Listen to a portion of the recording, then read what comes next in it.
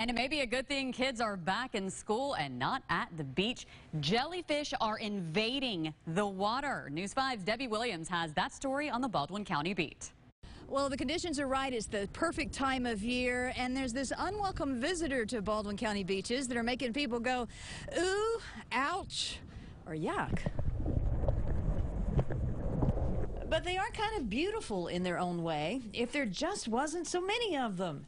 Moon jellies are back in the waters of the Gulf, in the back bays, and just about anywhere else they can find, prompting purple flags to be added to the flagpoles warning of the presence of dangerous marine life. The arrival of the jellyfish just in time for sea turtle hatchlings to grab a quick meal as they head into the open waters of the Gulf. While their sting is milder than most, they can still be a nuisance. But it's not just moon jellies out there. There are a lot of other jellyfish too, so swimmers, beware. On the Baldwin County beat, Debbie Williams, WKRG, News 5.